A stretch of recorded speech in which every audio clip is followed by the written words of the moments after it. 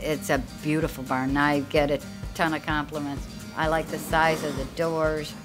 North Country Storage Barn. They brought it in, and by the next day, the barn was up and ready to go. Comes with all the hardware. It's airy. There's a lot of light in the barn. It's got great airflow.